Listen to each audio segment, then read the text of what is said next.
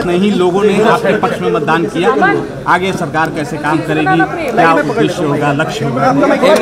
सरकार की योजना खाका तय किया है इसको बहुत तीव्र गति से काम शुरू करेंगे और विधि व्यवस्था से लेके हर तरह के सब दुरुस्त रहेंगे। यहाँ की प्रदेश की जनता का हित में अच्छा काम कर रहा है। विकास की जो गति कहा जा रहा था कि रुक गई है उसको आप देखिए कौन कहता है? जो कभी कुछ का ही काम किया वो कहता होगा। वही तो बोल रहे ना ऊपर का। इसीलिए ऐसा कोई बात चंपा जी